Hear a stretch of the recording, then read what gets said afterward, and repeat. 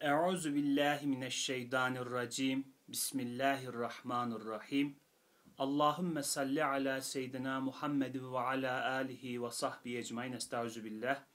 Rabbi şirah li sadri ve yessir li emri ve hlul ukdeten min lisani yefkahu kavli. Allahümme enfa'ni bima allemteni ve allimni ma yenfe'uni ve zidni ilmen.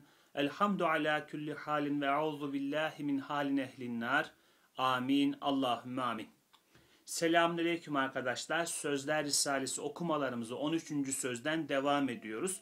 13. sözün birinci maksadındayız. Tabi 13. sözün birinci maksadının başında birinci maksat yazmıyor. Fakat ikinci maksadının başında, yok pardon maksat dedim gene yanlış söyledim, makammış. E, ikinci makamının başında 13. sözün ikinci makamı yazdığı için biz de diğerine birinci makam diyoruz. Yoksa böyle bir bölümlendirme yok burada. Başında makam demiyor yani. Ee, orada ilerledik, sonlarına geldik. E, sonlarda nasıl böleceğimi bilemediğim iki buçuk sayfa kadarlık bir bütünlük var. Söz basım yayın mizampajına göre. Burayı komple okuyup size sonra nasip olduğu miktarını Cenab-ı Hakk'ın bize e, inayetiyle, lütfuyla, keremiyle açtığı miktarını konuşmak istiyorum. Ee, ne kadar ilerleriz bilemiyorum. Burası bir bütün gibi yani. Bir kısmını belki okumuş olacağız. Bir kısmını bir dahaki derse bırakacağız. Bakalım ya nasip. Ama evvel hep yaptığımız üzere yine 13. sözün başına bir dönelim. 13. sözün başında hangi ayetler var? Bu güzel söz hangi ayetleri manşet yaparak, girizgah yaparak, onlara dikkatimizi çekerek başlıyor? Hatırımızda tutmuş olalım. 13. söz. Bismillahirrahmanirrahim. Ve nunezzilu minel Kur'an ma huve şifa'u ve rahmetul lil müminin. Bu ayet İsra suresinin 82. ayeti. İsra suresinin 82. ayeti. Kısa bir meali şu şekilde. Biz Kur'an'dan müminler için bir şifa ve rahmet olan şeyi indiriyoruz. Biz Kur'an'dan müminler için bir şifa ve rahmet olan şeyi indiriyoruz. Kur'an-ı Kerim kendisini böyle beyan etmekle Cenab-ı Hak kelamı hakkında böyle buyurmakla bizi uyandırıyor, uyarıyor ki Bediüzzaman Hazretleri de bu eserde e, bu noktalara çok dikkat çekiyor. Bir, Kur'an'ın şifa olduğunu anlamak için, rahmet olduğunu anlamak için mümin olmak gerekir. Mümin olmak ne demek? İman etmiş olmak diyoruz biz. Fakat e, imanın da öncesinde müminin, hep altını çiziyorum bunun, çizmek de lazım. Ee, ödemeye hazır olduğu bir bedel var. Hidayet Cenab-ı Hakk'ın lütfu keremidir. Ee, ona ödenecek olan bedele hazır olanlara lütuf buyurulur. Hani Sadık Taftazani Hazretlerinin Rahimeullah iman tarifi var ya cüz iradenin sarfından sonra Cenab-ı Hakk'ın insanın kalbine ilka ettiği nur diyor o cüzi iradenin sarfı mevzusunu da ben biraz böyle anlıyorum. Yani hidayete muhatap olan insanlar onun ödeteceği bedele hazır oluyorlar. Mesela Hz. Ebu Bekir radıyallahu anh Efendimiz aleyhissalatü vesselamın getirdiği dine iman ettiği zaman bir bedel ödemedi mi? Elbette ödedi. Kureyş'in saygınlarından, büyüklerinden, zenginlerinden iken hem malıyla hem canıyla hem emeğiyle cihad etti. Birçok bedeller ödedi yani toplumun üstündeyken tabiri caizse bir süreç için e, o toplumun eziklediği, aşağıladığı, e, ittiği, e, ne diyelim saygısızlık yaptığı bir bireyi olma bedelini üstlendi. Ama İslamiyet'in getirdiği nuru kabul etmek için de bu bedeli ödemek gerekiyordu. Diğer sahabe efendilerimiz için de radıyallahu anh mecmain bunu söyleyebiliriz.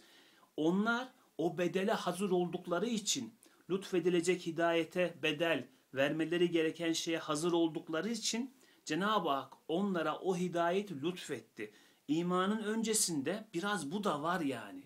İman kime geliyor? İman bedel ödemeye hazır olanlara. Ya bu bilgi, bu vahiy ile gelen, e, sünnetle gelen şeyler bizi işlesin, bizi değiştirsin.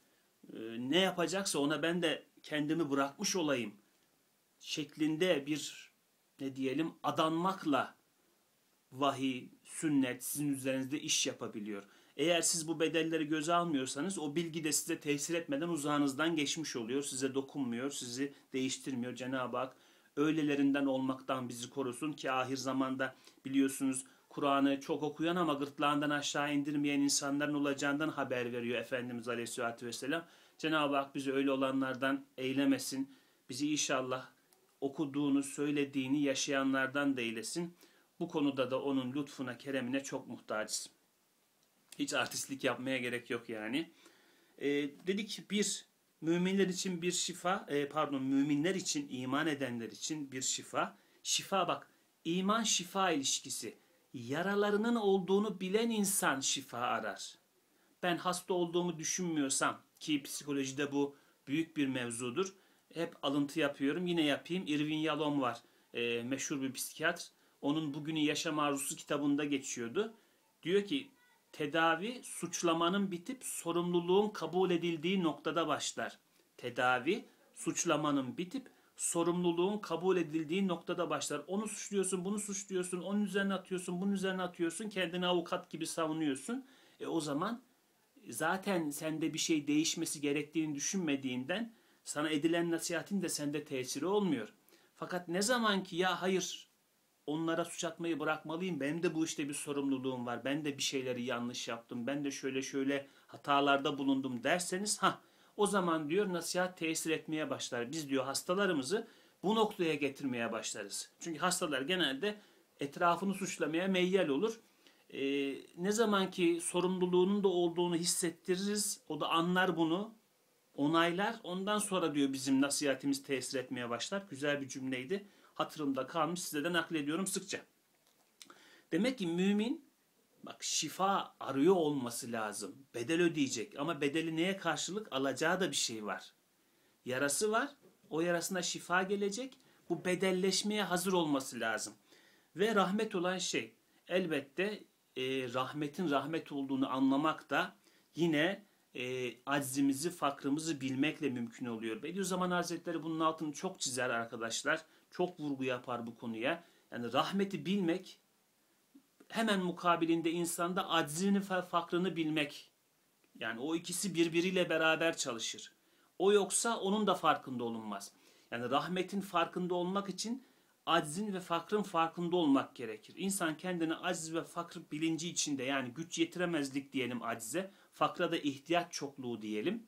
Bu ikisinin farkında değilse, bunları yaratanın kendisi olmadığını bil, bilmiyorsa, yani işte nefes alıyorum mesela, bu benim ihtiyacım. Bu nefesi yaratan ben değilim. Bu bana bahşediliyor. Ben buna güç yetiremem normalde böyle bir şey yapmaya gibi gibi. Birçok ihtiyacımız var. Saymakla bitmez o uyanışı yaşamıyorsa bir insan rahmeti de hissetmez. Bakın şifa geliyor. Bak yara, şifa, aciz, fakr bunlar da insaniyetimizin yaraları ve rahmet. Yani şifa rahmetin e, komprime bir şekli gibi. Biz olaylarda müşahhas müşahhas gördüğümüz şekli gibi tabiri caizse. Şifayı e, rahmetin tecessüm etmiş hali gibi de tarif edebiliriz. Ben bir ilaç alıyorum, hastalığım iyileşiyor mesela diyelim. Başım ağrıyor, ağrı kesici alıyorum. Cenab-ı Hak bir şifa yaratıyor o ağrı kesici duasıyla. O bir dua, bir fiili dua. Ve ben rahmeti o şekilde tatmış oluyorum. Biz şifa e, üzerinden rahmetin bir rengini, birçok rengini görmüş oluyoruz. Yoksunluğumuza karşılık bir varlık bahşediliyor bize ki rahmetle zaten o yoksunluklarımızın Cenab-ı Hakk'ın lütfu keremiyle e, varlıkla doldurulması. Merhamette bu vardır arkadaşlar. Merhamet neyle tezahür eder? E, merhamet ettiğinin varlığını devam ettirmekle. Mesela anne çocuğuna merhamet ediyor. Ne yapıyor aslında? Çocuğunun varlığının devamını sağlıyor. Hayatta kalmasını sağlıyor, sağlıklı kalmasını sağlıyor. Ne bileyim, e, mutlu olmasını sağlıyor. Bunlar hep onun varlığıyla ilgili şeyler merhamet ettiğimizin varlıkta kalmasını sağlıyoruz. Merhametimiz böyle tezahür ediyor. Cenab-ı Hakk'ın rahmeti de elbette bu benzetmeden çok yüce bir şekilde bizi varlıkta tutarak gözüküyor. Bizim varlıkta kalışımızın her anı aslında Cenab-ı Hakk'ın rahmetinin bir tezahürü. Şifa da bunun renklerinden birisi. Eksilmeye tamamlama. Evet ayet bunu söyledi bize. Biz Kur'an'dan müminler için bir şifa ve rahmet olan şeyi indiriyoruz. Yani bu bilgi sizin uzağınızda, ağzınızda sakız, entelektüel e, sohbetlerde böyle kahve muhabbetlerinde işte oyalanma vesilesi falan değil bu bilgi. Bu bilgi birebir sizinle ilgili. Hikayesi anlatılan sizsiniz, yaralarından bahsedilen sizsiniz, rahmete muhtaç olan sizsiniz. Bu bilgiye ihtiyacınız var. Bu bilgi ona ihtiyacınız olduğunu hissettiğiniz zaman sizde tesir eder. Kur'an böyle bir bilgi türü yani. Kur'an'ı herhangi bir bilgiyle, fenle, edebiyatla, şunla bunla, şiirle, şarkıyla falan karıştırmayın diyor Cenab-ı Hak. Kur'an böyle bir şey. Kur'an'da öğretilen bilgi böyle, şey, böyle bir şey. Kur'ani bilgi de onunla şekillendirilen dünya bilgisi de mesela yine böyle bir etki yapar insanda. Ona uygun olarak anlatılmış, şekillendirilmiş bilgi. Diğer ayete geçelim. Ve meallemnahu şi're ve ma yenbagîle. Ve meallemnahu şi're ve ma yenbagîle. Bu da Yasin suresinin 69. ayeti. Yasin suresinin 69. ayeti. Burada da kısa bir mealiyle buyruluyor ki biz peygambere şiir öğretmedik bu ona yakışmaz da. Bakınız şiir için ne dedik? Beşeri ilimlerin en sanatlısı ya da söz beyan etme şekillerinin, bilgiyi ortaya koyma şekillerinin en girift hali, en üst hali şiir. Yani sanatın zirvesi gibi. Ama o sanatın zirvesi bile Kur'an'a yetişemez ve Kur'an o olmaktan kendini teberri ediyor. Neden? Çünkü bu yine arzi bir üretim tarzı. İnsandan insana bir üretim tarzı. Elbette vahiden, sünnetten hisseli olan şiir içinde hakikatler barındırır. Ama e, ondan diyelim ki ayırdık, kenara koyduk, ayrıca bir şiir dünyası oluşturduk. Kur'an'dan, sünnetten gelen bilgiyi de bir tarafa koyduk. Bu hiçbir şeydir. Daha önce okuduğumdan bahsetmiştim. Yedi askı şiirleri var. E, Arap edebiyatının en zirve şiirleri ki Kur'an-ı Kerim nazil olana kadar da onlar Kabe'nin duvarlarında asılı duruyorlarmış. En son işte Lebid'in kızı e, ayet-i kerimeye karşı bunun kıymeti kalmadı diye babasının şiirini indirmiş. Birisi de onun şiiri. Ben o şiirleri okudum. Onların çevirilerini de okudum. Ya yani Kur'an'a baktığın zaman çok üst bir şey. Aa atım şöyle, yelesi böyle, silahım şöyle, yarim böyle. Yani bunları anlatıyor. Tamamen dünyevi şeye böyle eğlence yani. Şarkı söylemek gibi. Ee, ne diyelim şiir normal seküler bir şiir okumak gibi yani. Ama Kur'an'ın içeriği öyle mi? Kur'an okunduğu zaman herkes kendisinden bahsedildiğini anlıyor. Filancanın atı falancanın nalı değil yani bu mevzu. Çok yüce bir mevzu olduğunu hissediyoruz biz Kur'an'da. Muhatap olduğumuz anda hakikatiyle orada bizden de bahsedildiğini, sözün beyanın kasıtlarından birisinin de işte mesela 14-15 asır sonra gelecek olan Ahmet'in de orada pay sahibi olduğunu hissediyoruz elhamdülillah. Burada da işte Kur'an'ın iki şeyi var, vurgusu var. Birisi ya bu bilgi sizinle ilgili arkadaş, bu bilgi sizi değiştirmeye gelen bilgi. Bu böyle beşeri ilim değil sadece arzın arzla ilgili, arzda üretilmiş, arza münhasır bir şey değil. Semavi yüce şeylerden haber veren bir bilgi ve kendi ürettiğiniz sanatla bunu karıştırmayın. Bu daha öte bir şey. Vurguları bu ayetlerde hissediliyor. İlk cümleyi de okuyup hemen kaldığımız yere geçelim. Kur'an-ı Hakim ile felsefe ulumunun mahsulü hikmetlerini, Kur'an-ı Hakim, hikmetli Kur'an, sonsuz hikmet sahibi Allah'ın kelamı ve felsefe ulumunun, felsefe ilimlerinin mahsulü hikmetlerini, felsefe ilimlerini arzi bilgi olarak da düşünebiliriz dedik. Dünyevi bilgi, dünyaya münhasır bilgi, dünyayı dünyanın içinde açıklamaya çalışan bilgi türü e, mahsulü hikmetlerini ne üretiyorlar? Ne getirdiler beşere? Devamları ne oldu? Dersi ibretlerinin neye dikkatimizi çekiyorlar? Neyden ibret almamızı istiyorlar? Neye bizi yoğunlaştırıyorlar? Onları düşünelim.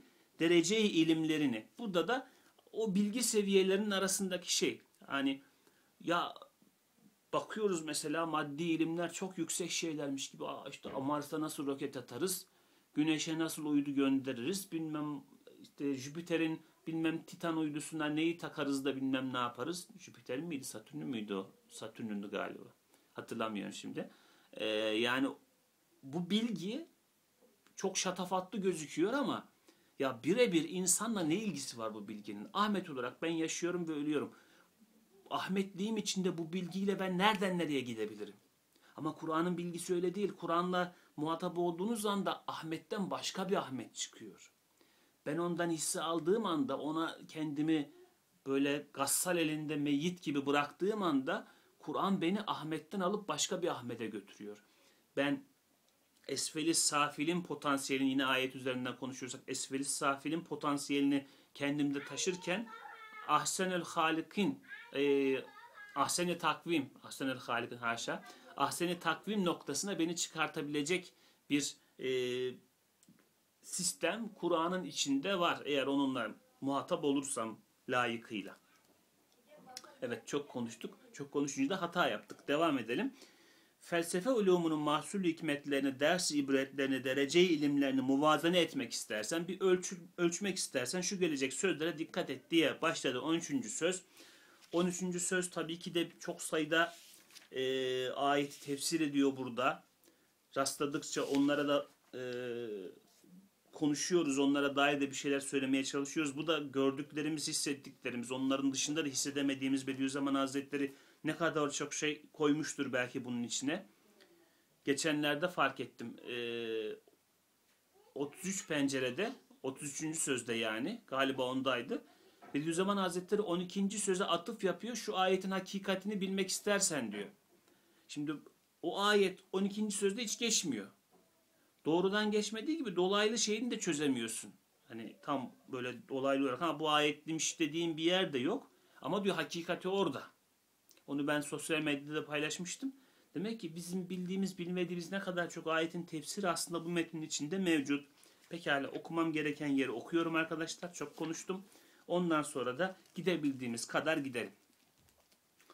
Kur'an-ı Mucizül Beyan'ın en yüksek bir dereceyi icazına bakmak istersen şu temsil dürbünüyle bak şöyle ki. Gayet yüksek ve garip ve gayetle yayılmış acip bir ağaç farz edelim ki o ağaç bir perdeyi gayb altında bir tabakayı mesturiyet içinde saklanmış. Malumdur ki bir ağacın insanın azaları gibi onun dalları, meyveleri, yaprakları, çiçekleri gibi bütün uzuvları arasında bir münasebet, bir tenasüp, bir muvazinet lazımdır. Her bir cüz'ü o ağacın mahiyetine göre bir şekil alır, bir suret verilir. Şimdi ağacın zahiri araya giriyorum ama ağacın zahiri biraz karışık gözüküyor. Gelişi güzelmiş gibi gözüküyor değildir diyor Bediüzzaman Hazretleri. Onun da bir sistematiği var.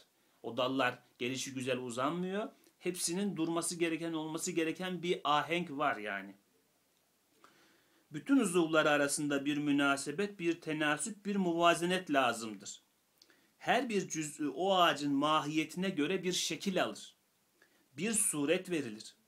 İşte hiç görünmeyen ve halen görünmüyor o ağaca dair biri çıksa, bir perde üstünde onun her bir azasına mukabil birer resim çekse, birer hudut çizse, daldan meyveye, meyveden yaprağa bir tenasüple bir suret tersim etse ve birbirinden nihayetsiz uzak mebde ve müntehasının ortasında uzuvlarının aynı şekil ve suretini gösterecek muvafık tersimatla doldursa, elbette şüphe kalmaz ki o ressam o gaybi ağacı gaybaşina nazarıyla görür, ihata eder, sonra tasvir eder. Affedersiniz. Gripten çıktım, öksürüğüm daha gitmedi tam. Aynen onun gibi Kur'an-ı Mucizül Beyan'ın dahi hakikati mümkinata dair ki o hakikat dünyanın iptidasından tut ta ahiretin en nihayetine kadar uzanmış ve ferşten arşa ve zerreden şemse kadar yayılmış olan şecere-i hılkatin hakikatine dair beyanat-ı furkaniyesi o kadar tenasübü muhafaza etmiş ve her bir uzva ve meyveye layık birer suret vermiştir ki bütün muhakkikler nihayet tahkikinde Kur'an'ın tasvirine maşallah barekallah deyip tılsım-ı kainatı ve muammayı hılkati keşif ve fetheden yalnız sensin ey Kur'an-ı Hakim demişler. Biz de onlara maşallah diyoruz. Velillahil meselül e'la en yüce sıfatlar Allah'ındır. Bu da Nahl suresinin 60. ayetinden bir ifade. Nahl suresinin 60. ayetinden Velillahil meselül e'la en yüce sıfatlar Allah'ındır. Bu genelde e, marifetullah'a dair bir temsil kullanılacağı zaman e, söylenen bir ifade. Neden? Çünkü temsilimizde beşeri bir şey yapıyoruz biz. Gücümüz yettiğince, dilimiz döndüğünce bir hakikati anlamak için temsili basamak kılıyoruz. Bunda kusur olabilir. Sen bizim temsilimizin sınırlarıyla bakma. Yüce sıfatların bundan yücesinin, sonsuzunun, sınırsızının, arızasızının, kusursuzunun Allah'ta olduğunu hatırında tut. Bu maksatla söylenen bir söz bu. Velillahil meselul a'la. Temsilde kusur yok. Esma ve sıfatı ilahiye ve şuun ve efali rabbaniyeyi bir şecere-i tuğba nur hükmünde temsil edelim ki o şecere-i nuraniyenin daire-i azameti ezelden ebede uzanıp gidiyor. Hududu kibriyası gayri mütenahi fezai ıtlakta yayılıp ihata ediyor. Hududu icraatı yehulu beynel mer'i ve kalbih falikul habbi ve neva huvellezi yusavvirukum fil erhami keyfe yeşâ hududundan tut. Ne bu hudutlar?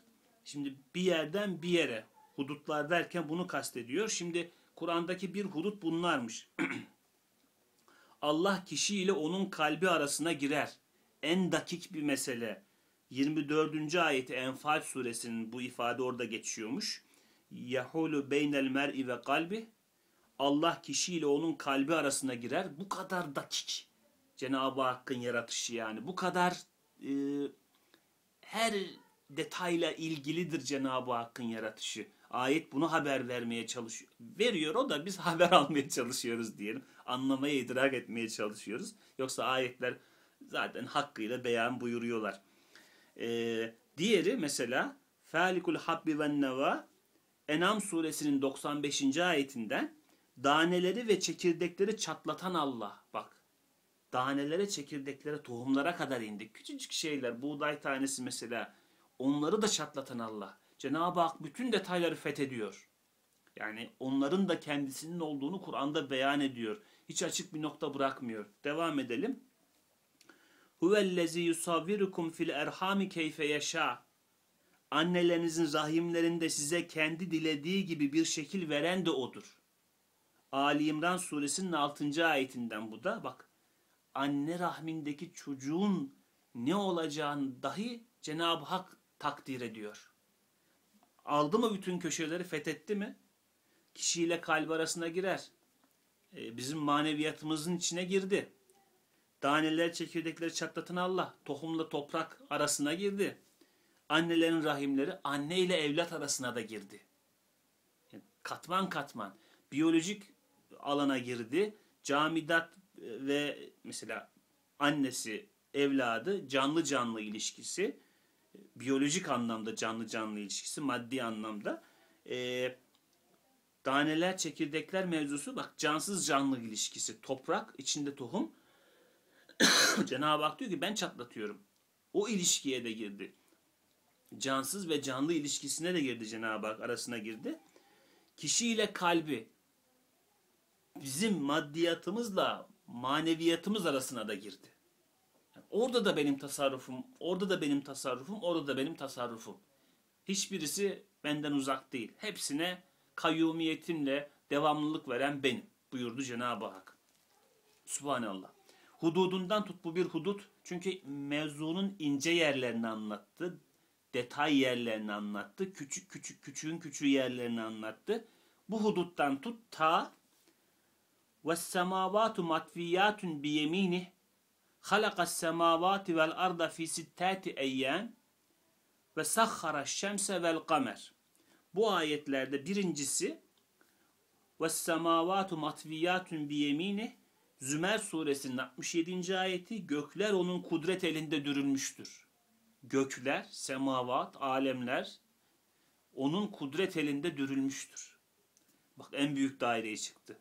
Halakas semavati vel arda fi sittati eyyam Gökleri ve yeri altı günde yaratan odur. Yine en büyük daire. Üçüncüsü Sahhara şemse kamer güneşi ve ayı da emrine boyun eğdirdi. Bakınız burada da varlığın tamamını mesela gökler onun kudret elinde dürülmüştür. Varlığın tamamında Cenab-ı Hakk'ın tasarrufunu anlatıyor. Ee, bu o anın e, mesela Cenab-ı Hakk'ın şu an her şey onun kudretinde, tasarrufunda, takdirinde, ilminde. Anlarımızın da yöneticisi o. Gökler onun kudret elinde dürülmüştür. Bunu bize anlatıyor. Sanki Allahu alem, Allah Allahu alem gökleri ve yeri altı günde yaratan odur. Hud suresinin 7. ayetinden de bu ifadede. Bu da işin zamansal boyutunu da anlatıyor. Nasıl anlarımızın sahibi Allah, işin zamansal boyutunda da sahibi Allah. O evreler, o aşamalar, o günü biz evre olarak anlayalım, aşama olarak anlayalım. Cenab-ı Hak kainatı altı aşamada yarattı. Çünkü bizim bu anlamda, dünyevi anlamda gün dediğimiz şey o zaman yoktu. Bizim günümüz güneşin günü, dünyanın günü. Hangi, neyin günü peki bu Cenab-ı Hakk'ın kastettiği gün? Onun ilminde mahfuz olan bir şeyin günü. Bunu biz ancak evre ve aşama ile yaklaşabiliriz buna. Yani altı aşamada yarattı, altı evrede yarattı, altı hilkat aşamasında vücuda getirdi gibi anlayabiliriz. Güneşi ve ayı da emrine boyun eğdirdi. Bu biraz daha böyle bizim dairemizin en büyük alanına geliyor. Yani dünyada yaşayan bir insan için en büyük ne? Güneş ve ay. En çok onları görüyor büyük olarak. Onları da Cenab-ı Hak emrine boyun eğdirdi. Yani bak dışarıdan içe doğru geldik. Gökler onun kudret elinde dürülmüş. Gökleri yere altı günde yaratan o. Güneş ve ayı da emrine boyun eğdirdi. Güneş ve ayın başka bir özelliği ne?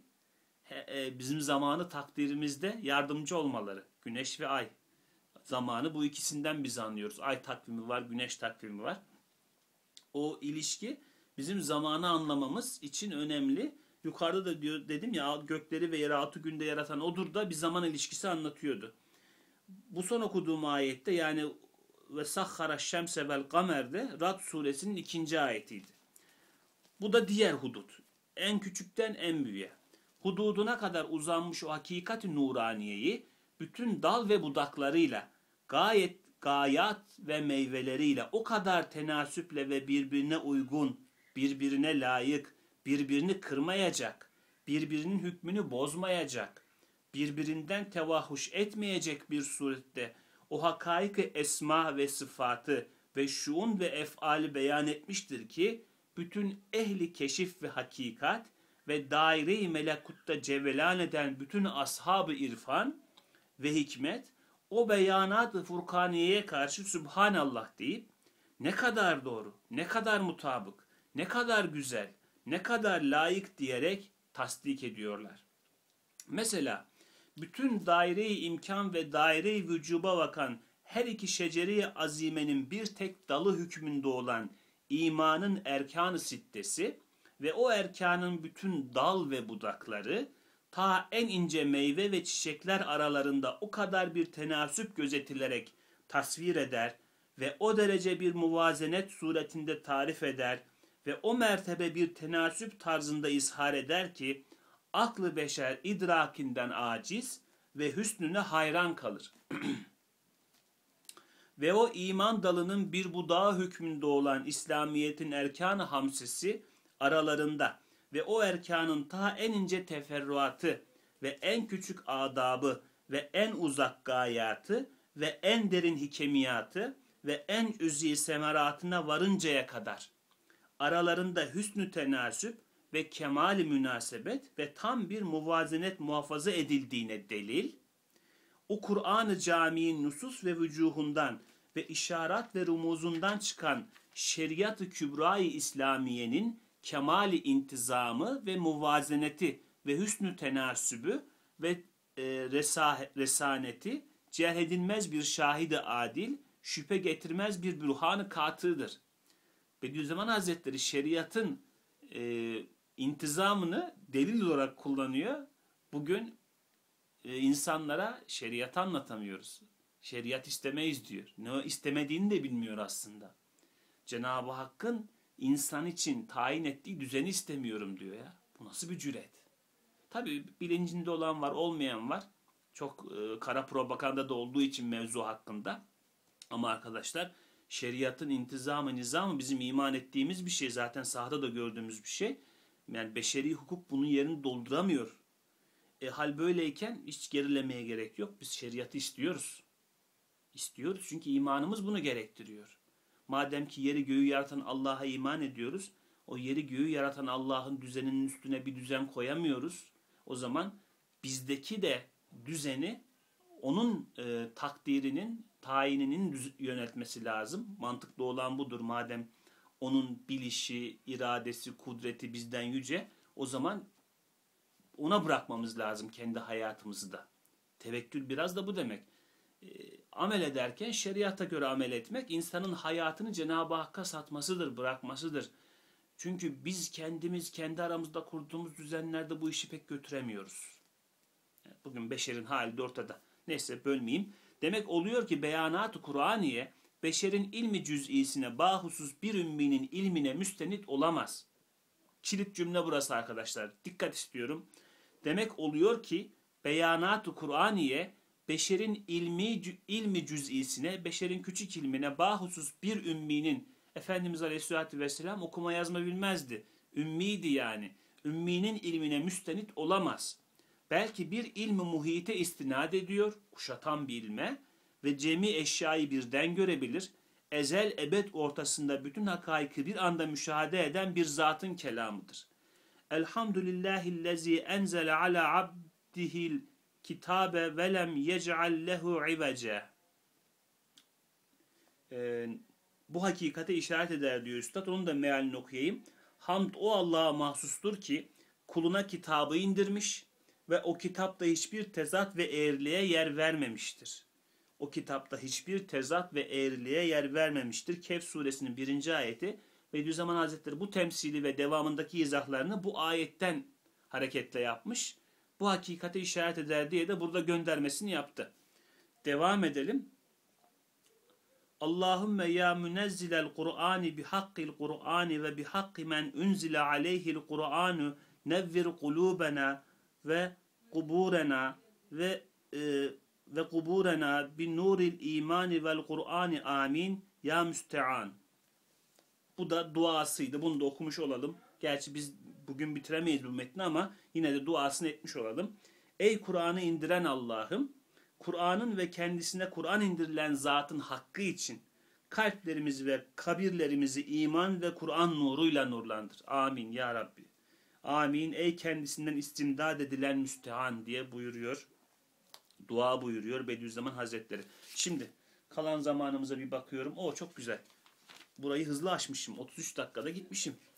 Şimdi döndük tekrar metnimizin başına. Önce diyelim ki burada bize ne anlatıldı? Bunu soralım ve cevabını söyleyelim. Burada Bediüzzaman Hazretleri bir temsil ile Kur'an'ın e, bir muvaffakiyetini m, söylüyor.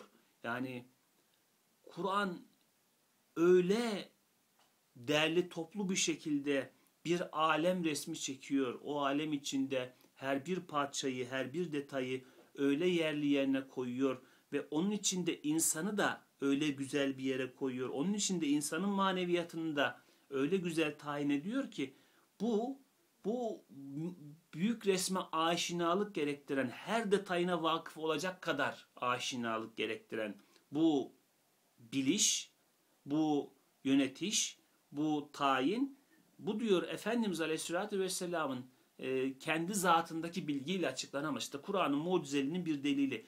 Öyle şeylerden bahsediyor ki bunu bir beşer yapamaz yani. İşte aleme dair tasvirinden bahsedecek birazdan. Şimdi oralara geleceğiz. Mesela kainat bahsi Kur'an'ın bakın bugün bile kimi bilimsel buluşlara bakıyoruz ya Kur'an ayetinde bu haber verilmiş diyoruz. Veya işte bazı şeyler söylüyor Kur'an. Onlardan diyoruz ki bak alem böyle de olabilir diyoruz. Yani oradan alemin e, varlığının aşamalarına dair ne diyelim teori üretebiliyoruz. yani Efendimiz Aleyhisselatü Vesselam'ın getirdiği vahiy 15 asır geçmiş yalanlanamıyor. Mesela işte Hristiyanlığın en büyük hatası şey derler. E, bilim tarihiyle ilgili kitaplarda geçer bu. Aristo'nun gök bilimini çok sahiplenmiştir. Çünkü kendi teolojisini doğruluyor diye. Fakat zaman geçince Aristo'nun gök bilimi yalanlanmıştır. Güneş dünyanın etrafında dönmüyordur. Yıldızlar dünyanın etrafında dönmüyordur. Dünya tam merkezde değildir. Şey açısından böyle hani bir dairenin içinde, kürenin içinde dünya ortadaymış gibi değildir mevzu. Dünya güneşin etrafında dönüyor. Bu böyle çıktığı zaman Hristiyanlık çok sarsılmıştır. Bununla da mücadele etmiştir. Çünkü doğrudan teolojisini etkiliyor. Onlar buna iman ettiği için yanlış olarak. E, direnmişlerdir ama en son yenilmişlerdir ve Hristiyanlık Avrupa'da çok sarsılmıştır. Bugün bile ateist sayısı belki Hristiyan sayısından çoktur Avrupa'da.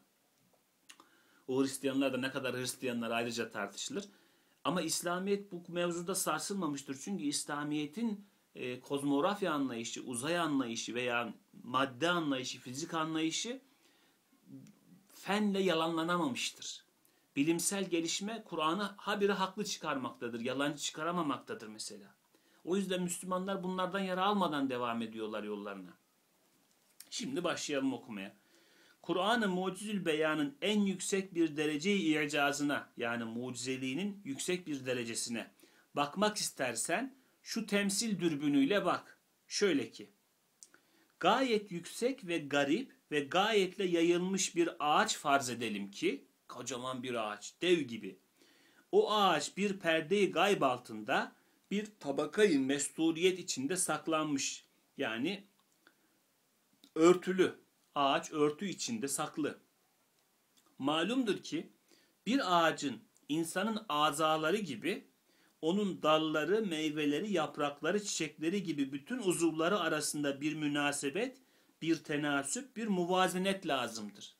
Yani nasıl insanın organlarının bir uyumu var. Bir insanın yarısını gördüğünüz zaman diğer yarısını tahmin edersiniz değil mi? Mesela dersiniz ha bunun bir parmağı var. Ya bak o zaman diğer eli de vardır gibi gibi. Yani bu ölçüyle bu şey mümkün olabiliyor. İnsaniyet dediğimiz şeyin bir matematiği var. Veya kainattaki bütün oluşların bir matematiği var. Ee, ölçülerle, tayinlerle, takdirlerle e, atıp sallanıp tutturulamayacak şekilde gelişi güzel olmuyor yani. Ya ben de bir insan yapayım kafama göre çizeyim de insan olsun olmuyor. Onun bir ölçüsü var. Öyle çizersen insan olur. Yoksa gulyabani gibi bir şey çizersin veya yaratık çizersin.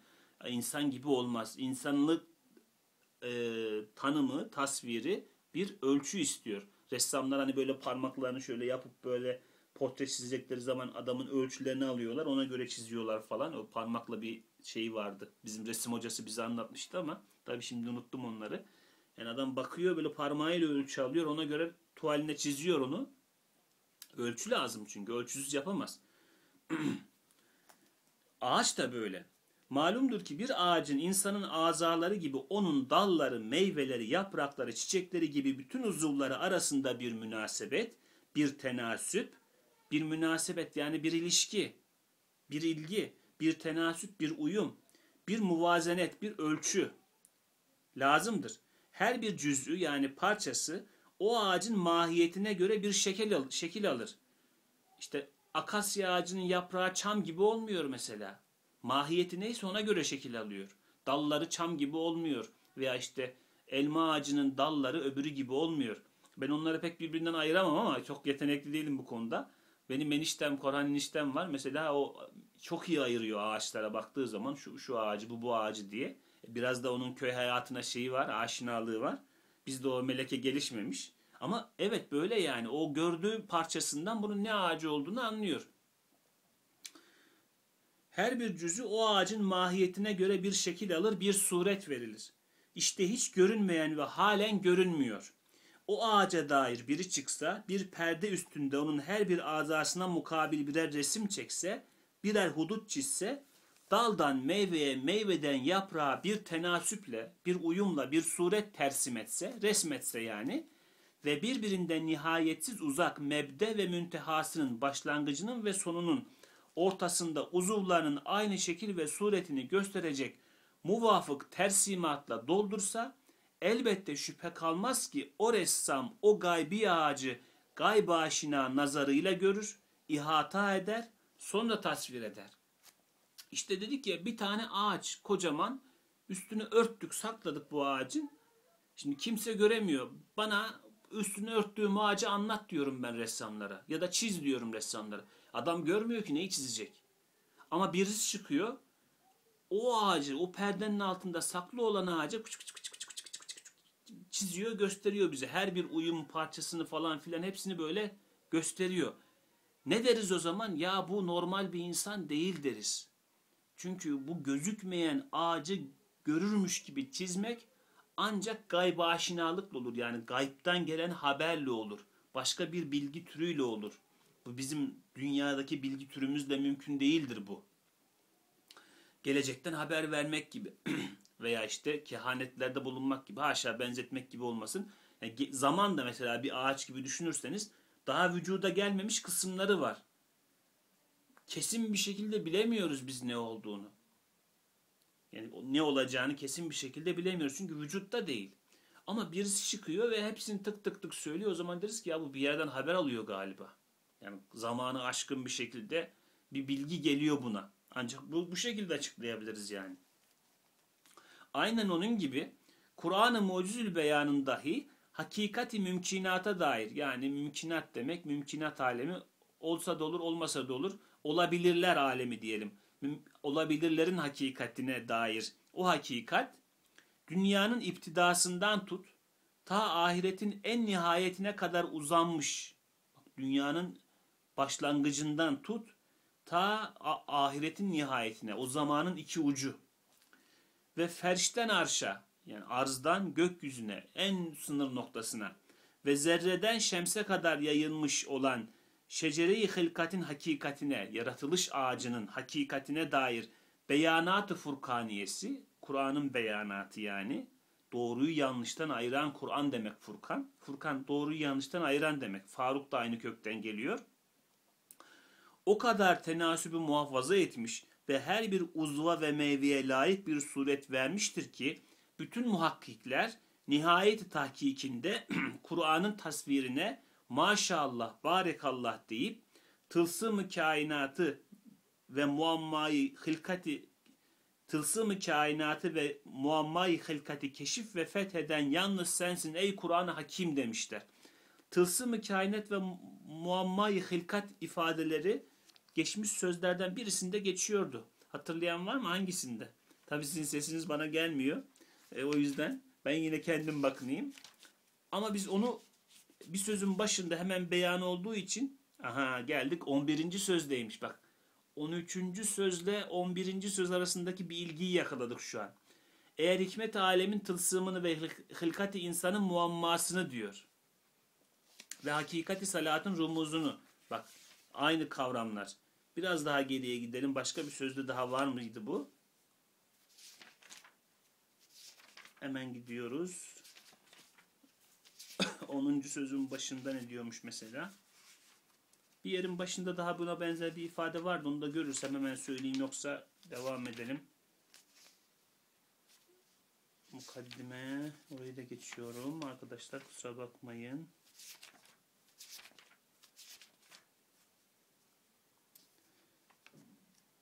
Çok da oyalamayayım sizi. Neyse kalsın o zaman. Kalsın mı kalsın mı kalsın mı kalsın mı?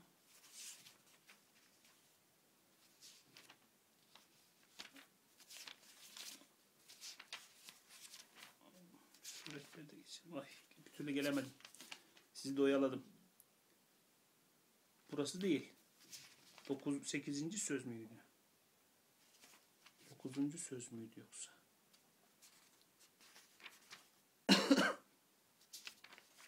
Neyse.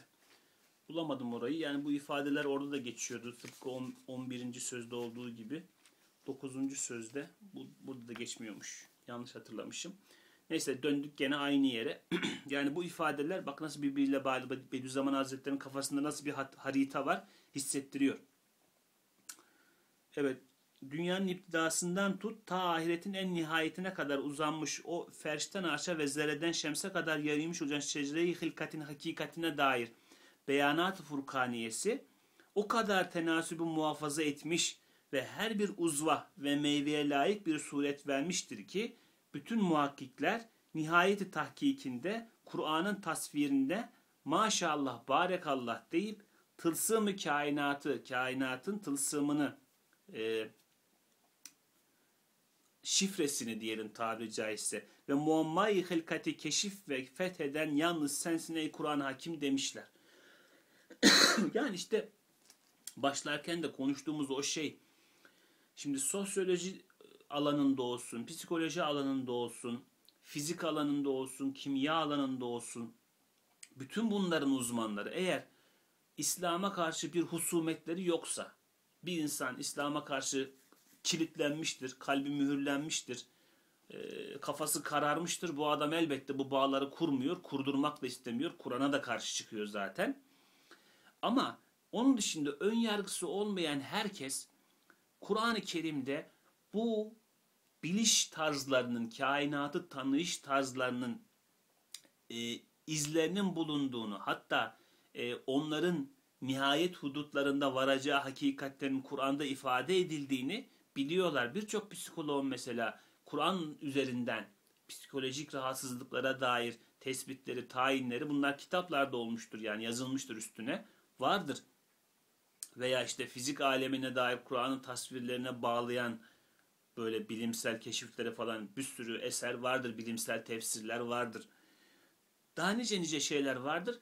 Bunlar gösteriyor ki Kur'an'da o büyük resmin her köşesinin görülmüşü mevcut. Yani o bilgi, Kur'an'daki bilgi bütün alemi bilen, en ince detayından en büyük resme kadar bilen bir Allah'ın bilgisiyle şekillenmiş. Nasıl biliyoruz bunu? Çünkü yalanlamıyor. Büyük kitap, küçük kitabı yalanlamıyor. Büyük kitap, küçük kitabı yalanlamıyorsa, bunların arasında bir tezat ve eğrilik, bir çakışma, çatışma yoksa, ayet-i kerimede buyurulduğu gibi, bir uyumsuzluk yoksa, o zaman gösteriyor ki büyük kitabı yazan kimse, küçük kitabı da yazan odur. Küçük kitabı buyuran kimse, büyük kitabı da yaratan odur. Tayinini buradan yapabiliyoruz. Burada da bize söylenen o. Ve diyor hani muhakkikler bu yolda mesai sarf edenler, e, fikir sarf edenler, zeka sarf edenler onlar da demişler ki maşallah barekallah yani Kur'an'ın üzerinde bunu söyleyemeyiz. Bunun Kur'an'ın üstüne bunun beyanı olamaz diye kabul etmişler. Tılsım-ı kainatı ve muammayı hılkati keşfe fetheden yalnız sensin ey Kur'an hakim demişler. Hilkatin muammasını bilinmezliğine yani keşfeden. Ve lillahil meselül e'la en yüce sıfatlar Allah'ındır. Temsilde kusur yok. Esma ve sıfat-ı ilahiye, Cenab-ı Hakk'ın esması ve sıfatları, şuun ve ef'al-i Rabbaniye'yi, ya Cenab-ı Hakk'ın kainattaki işleri, fiilleri, bir şecere-i tuğba nur hükmünde temsil edelim. Onları tuğba ağacı gibi, nurdan bir tuğba ağacı gibi kainatı düşünelim diyor. Cenab-ı Hakk'ın yaratışını, esmasını, sıfatlarını böyle bir tefekkür edelim bir şecere-i tuğba-i nur hükmünde temsil edelim ki o şecere-i nuraniyenin, nurani ağacın daire-i azameti, büyüklüğü ezelden ebede uzanıp gidiyor. Yani zamandan aşkın bir büyüklüğü var, sonsuz. Hududu kibriyası ki, büyük ıı, diyelim sınırları, hududu kibriya ne demekmiş, burada nasıl verilmiş manası? icraatının pardon hududu kibriya büyüklüğünün sınırı.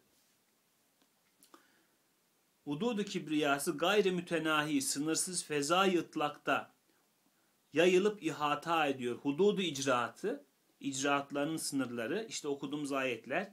Yehulu beyner mel'i ve kalbi falikul habbi ve neva huvellezi yusavvirukum fil erhami keyfe yeşâ.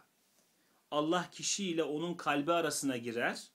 Daneleri ve çekirdekleri çatlatan Allah, annelerinizin rahimlerinde sizi kendi dilediği gibi bir şekil veren O'dur. Hududundan tutta bi yemini halakas semavati vel arda fi sittati eyyam ve sahhara şemse vel kamer. Gökler onun kudret elinde dürülmüştür. Gökleri ve yeri altı günde yaratan O'dur güneşi ve ayı da emrine boyun eğdirdi. Ayetlerinin ve numaralarını daha önce söylemiştim. Hududuna kadar, o küçük daireden en büyük daireye kadar uzanmış o hakikat-i nuraniyeyi bütün dal ve budaklarıyla, gayat ve meyveleriyle, gayeleriyle ve sonuçlarıyla onlardan alınacak mahsulle o kadar tenasüple ve birbirine uygun, birbirine layık, birbirini kırmayacak. Bak çakışma, tezat, eğrilik, uyumsuzluk yok. Birbirinin hükmünü bozmayacak. Birbirinden tevahuş etmeyecek. Yani birbirinden çekinmeyecek, yalnız kalmak istemeyecek, kaçınmayacak tabiri caizse bir surette. O hakaik esma ve sıfatı ve şuun ve efali öyle zikretmiştir ki, öyle beyan etmiştir ki, bütün ehli keşif ve hakikat ve daire-i melekutta cevelan eden bütün ashab-ı irfan ve hikmet o beyanat-ı furkaniyeye karşı Subhanallah deyip ne kadar doğru, ne kadar mutabık, ne kadar güzel, ne kadar layık diyerek tasdik ediyorlar. Yani Cenab-ı Hakk'a dair Kur'an'da kainat bilgisi açısından da söyledik bunu az önce. Gelelim Cenab-ı Hakk'ın marifetine dair ne kadar bilgi geçiyorsa Kur'an'da insanoğlu 14 asırdır, 15 asırdır bunun üzerine tefekkür sarf ediyor. O yoldan gidenlerin tamamı diyorlar ki bunların her birisi de birer deha. İmam-ı Azam Hazretleri Rahimehullah bir deha. İmam-ı Şafii Hazretleri Rahimehullah bir defa, deha. İmam-ı Gazali Rahimehullah bir deha. İmam Rabbani Hazretleri bir deha. Deha, deha, deha bir sürü yani bunlar sayılmayacak kadar çok nurani insanlar. Hepsi diyorlar ki ya bu beyanın üstünde daha isabetli, daha güzel söylenemez. Hata ettiği bir yer yok. Allah'ın marifetinde, hakikatinde yanlış söylediği veya hakikati tam doğru tasvir edemediği bir yer yok. Hepsinde ufkumuzu açıyor, hepsinde yolumuzu çiziyor. Hepsinde tam hakikat nasıl olması gerekirse onun sınırlarını tayin ediyor demişler. Bu da diyor ki onun işte vahiy olduğunun delili. Çünkü bir ümmiye gelmişti bu bilgi. Tamam bu sonraki gelen dehaların her birisi ilim ehliydi. Okudular, yazdılar, öğrendiler, öğrettiler. Tamam. Ama Efendimiz Aleyhisselatü Vesselam'ın bu imkanları yoktu. O nasıl oluyor da peşinden gelecek bütün ilim silsilelerinin e, aşamayacağı bir bilgiyi getirdiği insanlığın önüne koydu. Hepsinin ufkunu o açtığı halde onun üstüne hiçbir şey koyamıyorlar hala. bu ancak diyor onun şeyiyle, mucizeliğiyle açıklanır. Mesela bütün daire-i imkan ve daire-i vücuba bakan hem o iki şecere-i azimenin bir tek dalı hükmünde olan imanın erkanı sittesi ve o erkanın yani imanın rükünleri. İşte Allah'a iman, ahirete iman, meleklere iman, kitaplara iman, kadere iman, hayır ve şerrin Allah'tan olduğuna iman gibi gibi o maddelerin hepsini düşünün. Peygamberlere iman vesaire. İmanın erkanı sittesi ve o erkanın bütün dal ve budakları ta ince meyve ve çiçekler aralarında o kadar bir tenasüp gözetilerek tasvir eder ve o derece bir muvazenet suretinde tarif eder ve o mertebe bir tenasüp tarzında ishar eder ki aklı beşer idrakinden aciz ve hüsnüne hayran kalır. Akaidi imaniyi Kur'an öyle bir beyan ediyor ki onun üstünde beyan yok. Bütün düğümleri çözmüş. Artık sadece biz onun izlerini takip ediyoruz. Söylediklerini anlamaya çalışıyoruz. Onun dışında üzerine bir şey koyamıyoruz. Zaten her şey söylenmiş gibi yani. Yol açılmış. Ancak o yolda yürüyoruz biz. Efendimiz miraca gitti geldi. Arkasında kapıyı açık bıraktı diyor Üstad Hazretleri. Allah dostları da ruhlarıyla, kalpleriyle o yolda gidebiliyorlar gidebildikleri kadar. Ama o yol açıldı yani. O yolu gitti geldi o iş bitti. ve o iman dalının bir budağı hükmünde olan İslamiyet'in erkanı hamsesi yani erkanı hamse beş şartını kastediyor İslam'ın. Bakalım.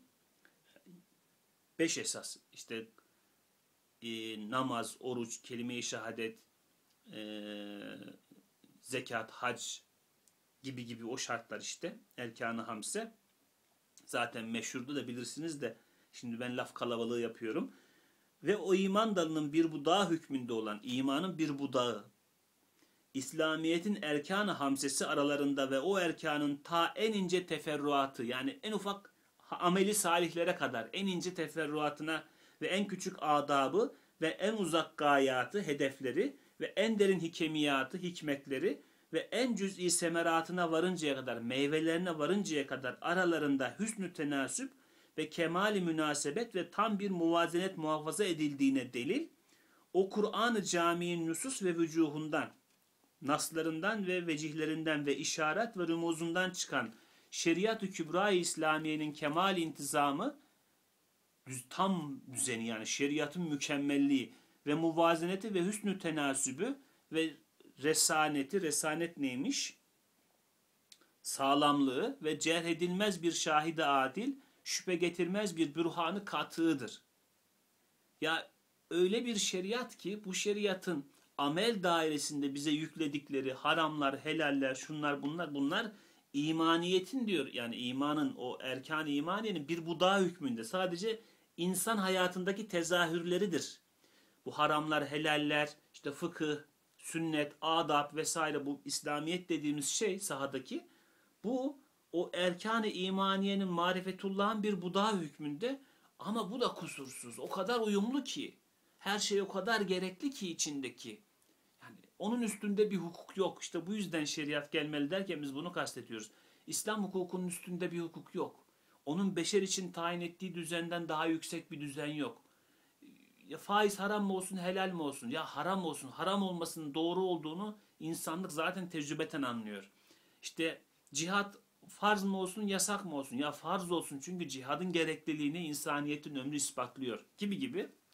Daha bütün ince detaylara kadar düşünün diyor. Hepsindeki hikmet, intizam, muvazene, tenasüp şahittir ki Efendimiz Aleyhisselatü Vesselam haşa hevasından konuşmadı. Cenab-ı Hakk'ın vahyini bildirdi. Bu iş büyük resmi bilen, insanı tanıyan, alemi tanıyan, insan alem ilişkilerini bir gören bir Allah'ın işidir bu. Başka türlü olamaz.